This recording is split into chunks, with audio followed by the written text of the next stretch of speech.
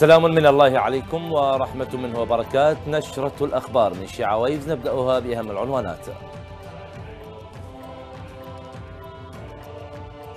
مؤسسة أهل البيت عليهم السلام في البصرة تنظم جولة دينية لزيارة المراقد المقدسة في إيران.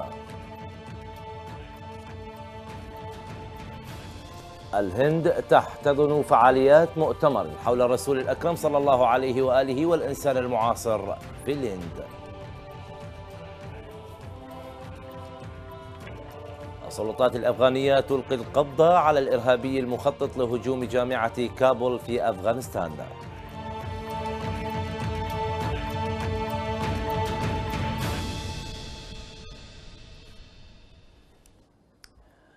أهلا بكم والتفصيلات. تواصل لجنة سيد الشهداء صلوات الله عليه العالمية التابعة للمرجعية الشيرازية في الكويت فعالياتها الخدمية في المجالين الطبي والثقافي. في دول شرق القارة الأفريقية. وقالت اللجنة في بيان إنها قامت بإنشاء مستوصف طبي متنقل لتقديم مختلف الخدمات الطبية والعلاجية للأهالي الفقراء والضعفاء الساكنين في القرى والأرياف هناك. مضيفة إن المستوصف يقوم بفحص المراجعين من قبل عدد من الأطباء وتشخيص ما يعانونه من أمراض وأزمات صحية. وتقديم الأدوية لهم ووسائل الوقاية الطبية بشكل مجاني.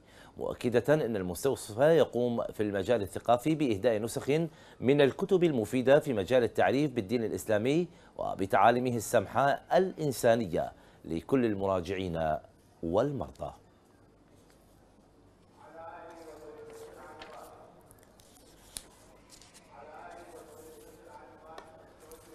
نظمت مؤسسة أهل البيت عليهم السلام الثقافية الخيرية في البصرة جولة دينية لأعضاء لجنة الاستفتاءات الشرعية لزيارة المراقد المقدسة في إيران.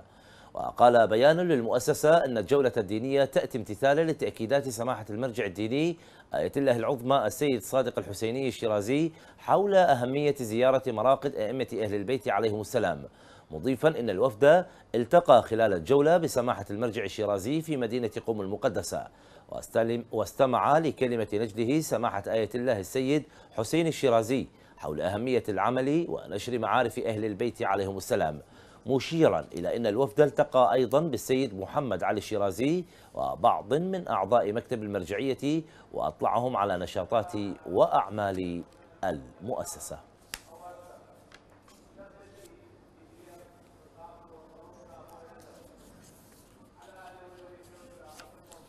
شهدت الهند انعقاد مؤتمر علمي بعنوان سيرة النبي صلى الله عليه وآله والإنسان المعاصر بحضور عدد من العلماء والمفكرين السنة والشيعة حيث ناقش المؤتمرون أهمية السيرة النبوية في الفكر الشيعي والسني وضرورة انتهاج المجتمعات الإسلامية النهج النبوي في حل القضايا الاجتماعية ومواجهة التحديات الفكرية.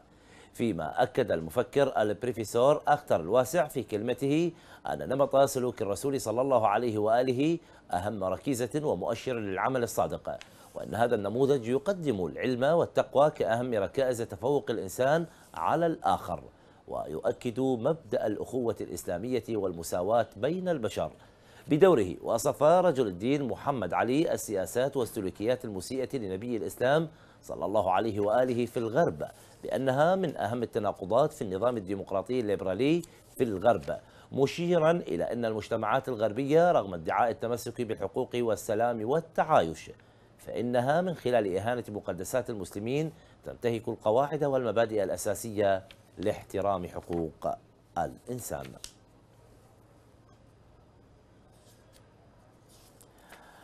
أعلنت منظمة من هو الحسين عليه السلام الخيرية الدولية نجاح متطوعيها في توزيع المئات من حزم المساعدات الغذائية والطبية للفقراء والمشردين في جزيرة موريشيوس الآسيوية النائية. وقالت المنظمة في بيان أن المساعدات شملت مستلزمات نظافة ووجبة طعام ساخنة وحلويات وجلسة حلاقة لثلاثمائة من المشردين. مؤكدا أن المبادرة بهدف نشر رسالة الأمل التي أطلقتها مؤخرا بين من هم بين من هم أمس الحاجة إلى المساعدات.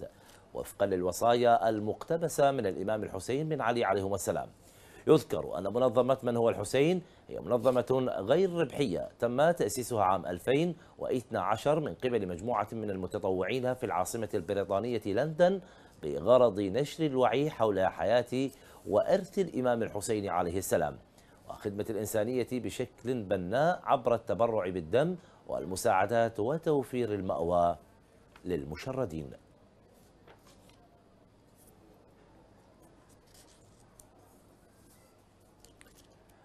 ألقت السلطات الأفغانية القبضة على العقل المدبر لهجوم جامعة كابول حيث اقتحم مسلحون قاعات الدراسة وأطلقوا النار على عشرات الطلبة. إذ استشهد في الثاني من نوفمبر الجاري 22 شخصا وأصيب 27 بجروح عندما هاجم ثلاثة مسلحين الجامعة مطلقين النار في قاعات الدراسة لساعات وانتهى الاعتداء بعدما قتل المسلحون الثلاثة. وقال نائب الرئيس الأفغاني آمر الله صالح إن العقل المدبر الذي يقف خلف اعتداء جامعة كابول أوقف واسمه عادل وهو عضو في شبكة حاقان الإرهابية مضيفا أن عادل كان مفقودا منذ ثلاث سنوات وسط شائعات تشير إلى أنه توجه لتلقي التدريب على الحرب والقتال والاعتداء. نفذ للضغط على الحكومة وتشويه سمعتها وجعلها تبدو ضعيفة أمام الشعب.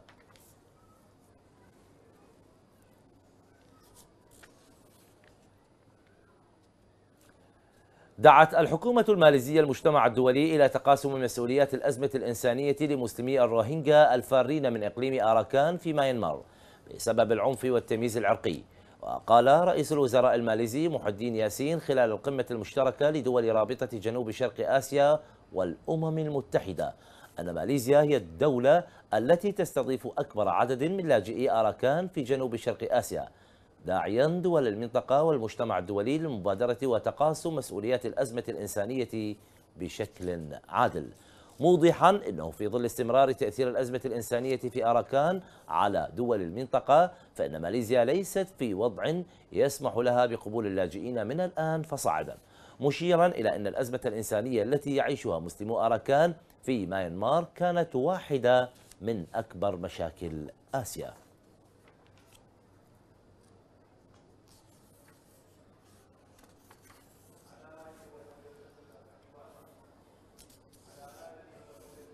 الخبر الأخير قام مسيحيو قرية البراقنة في محافظة بني سويف المصرية بتعليق لافتة في شوارع القرية تضامنا مع المسلمين. ورفض الإساءة لمقام النبوة حيث كتب على اللافتة إن أقباط قرية البراقنة يتضامنون مع إخوانهم المسلمين في عدم الإساءة للدين الإسلامي ورسوله الكريم.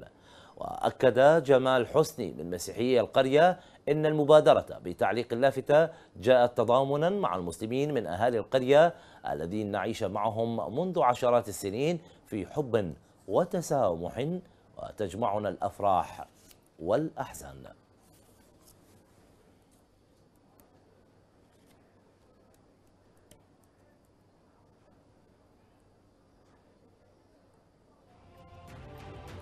نهاية النشرة تذكير بأهم العنوانات.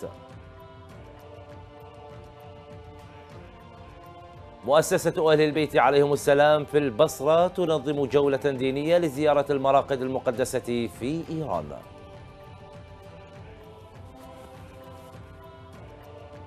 الهند تحتضن فعاليات مؤتمر حول الرسول الأكرم صلى الله عليه وآله والإنسان المعاصر في الهند.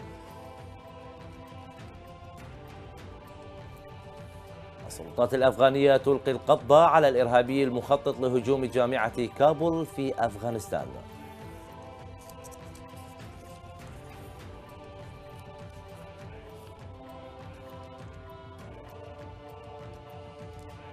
ختام النشرة شكرا لكرم الاستماع. اللهم عجل لوليك الفرج. السلام عليكم ورحمة الله وبركاته.